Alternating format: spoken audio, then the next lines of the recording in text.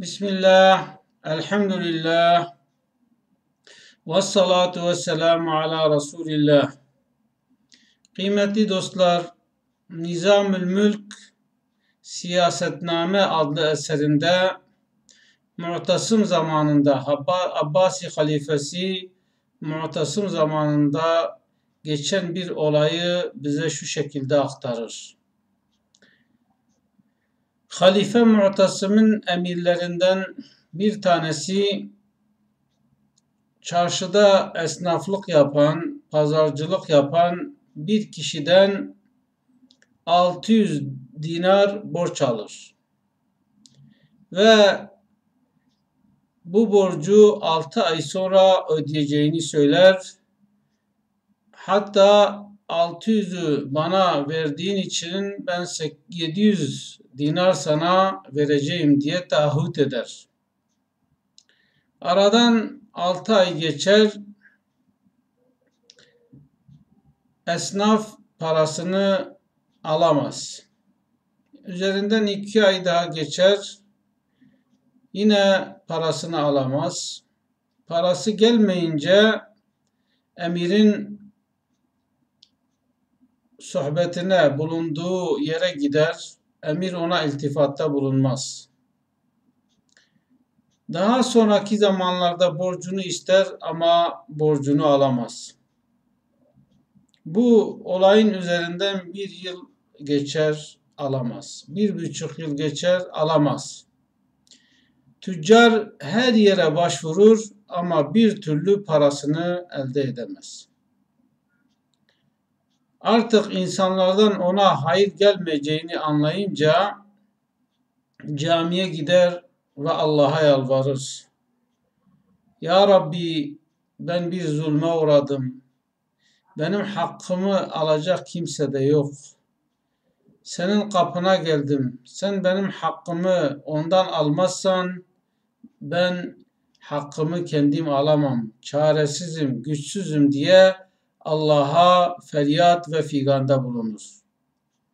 Orada bulunan bir derviş adamın dertli dertli ağladığını görünce adama derdini sorar. Adam benim derdimin çaresi yok. Beşerden bana hayır yok. Etse etse Yüce Mevlam bana yardım eder der. Derviş sen anlat. Faydam olmazsa da en azından rahatlarsın der. O da olayı dervişe anlatır. Derviş senin derdinin çaresi bende. Hemen buradan kalk ve Minareli Cami'ye git. Minareli Cami'nin kapısından girdikten sonra solda bir terzi bulacaksın. O terzinin yanına git, derdini anlat. O senin derdine derman olacaktır. O da Allah Allah ben bu kadar insana derdimi açtım. Bir gariban terzi mi benim derdime derman olacak der. Ama ümitsiz insan daima ümit peşindedir. Daima ümidini korumak ister. O minareli camiye gider. Gerçekten caminin köşesinde yani dışarıdaki köşesinde bir terzinin olduğunu görür.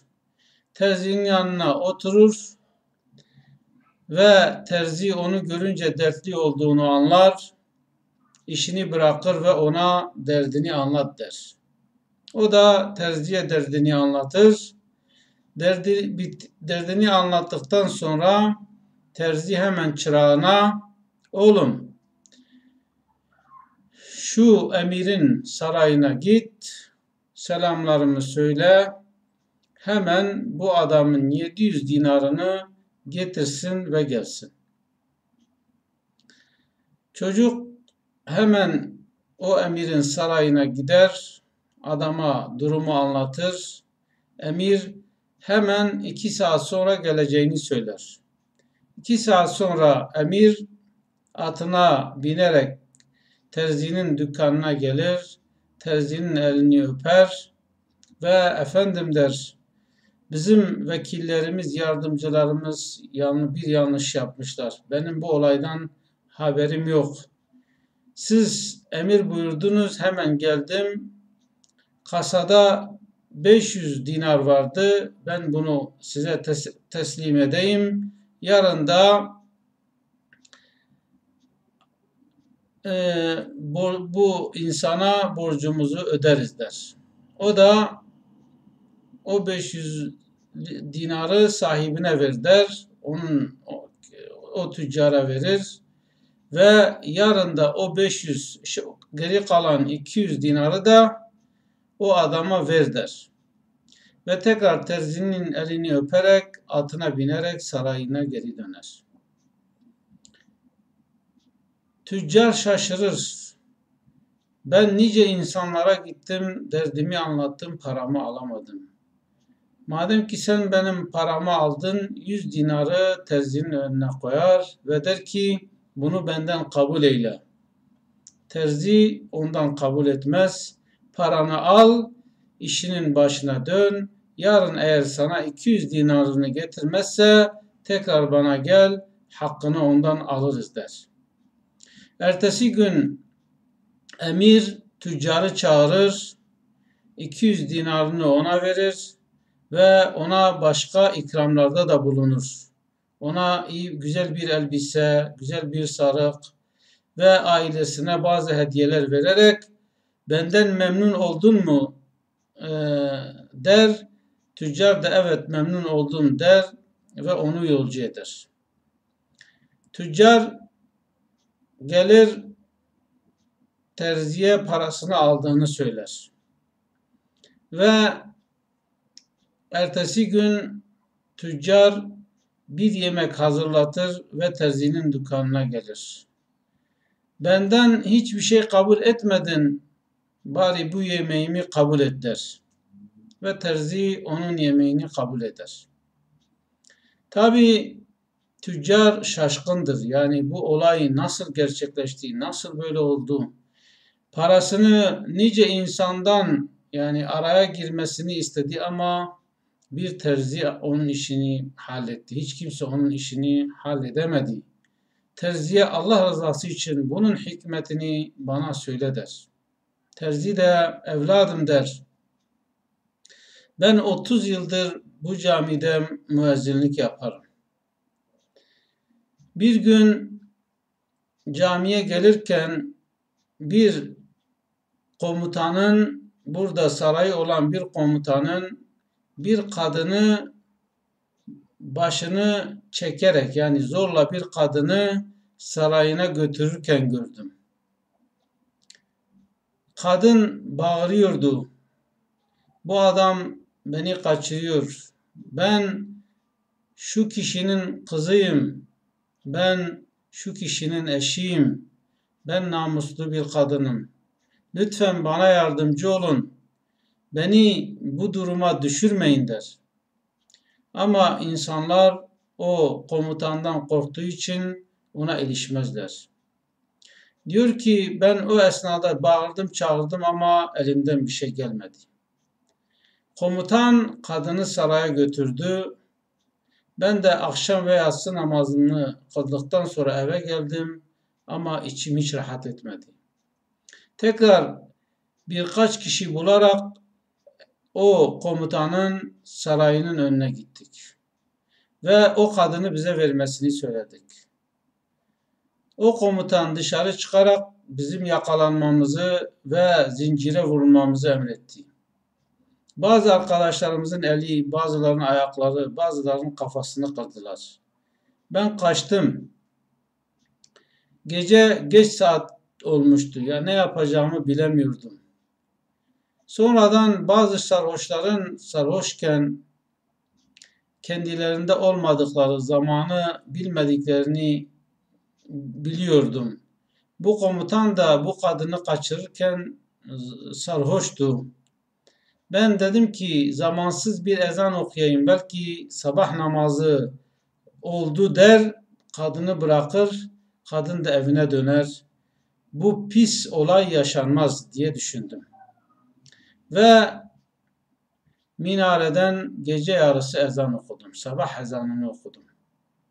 Meğer Bağdat'ta Halife Mu'tasım uyanıkmış.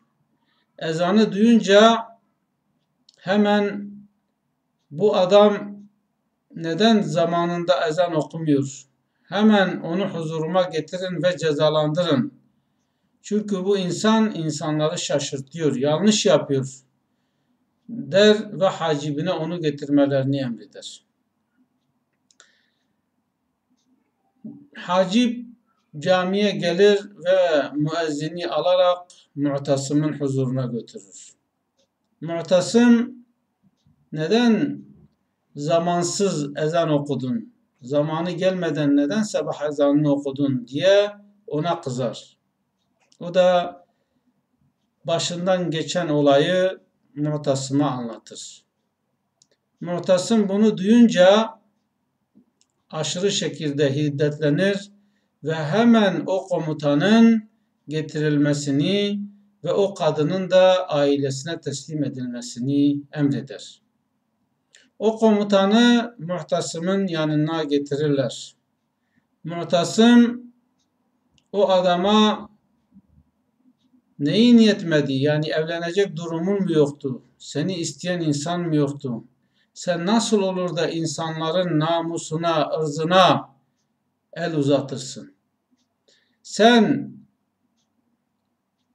bir Müslüman olarak nasıl böyle pis işlere kalkışırsın? Sana bu yakışıyor mu? Senin Müslümanlığına, senin insanlığına yakışıyor mu? İnsanlara zarar vermek senin insanlığına yaraşıyor mu? Madem ki böyle bir hata işledin, bu hatanın cezasını çekeceksin.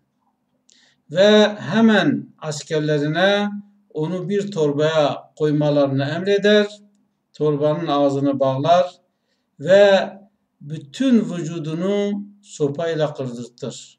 Sonra da o torbayı Nil Dicle nehrine atarak ona bu cezayı verir. İşte o terzi der ki eğer e, bir insan Bağdat'ta Mu'tasım'ın e, askerlerinden, komutanlarından veya başka bir insan zulümde bulunursa ve bana gelip ben de ezan okursam Mu'tasım beni çağırır, durumu öğrenir ve o insanı cezalandırır. Çünkü Mu'tasım bana dedi ki eğer böyle bir olayla bir daha karşılaşırsan zamansız ezan oku. Yani vaktinde olmayan bir zamanda ezan oku. O zaman bir zulmün meydana gelmiş olduğunu öğrenir, seni çağırır, durumu öğrenir ve gerekeni yaparım. İşte kıymetli dostlar, Müslüman, Müslümana eliyle ve diliyle zarar vermeyen insandır. Peygamberimiz Aleyhisselam El muslimu men selimel muslimune min lisanihi ve yedi. Müslüman eliyle ve diliyle Müslümana zarar vermeyen kişidir.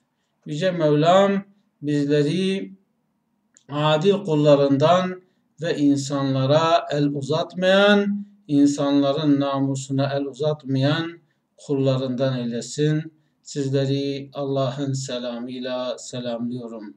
السلام عليكم ورحمة الله وبركاته.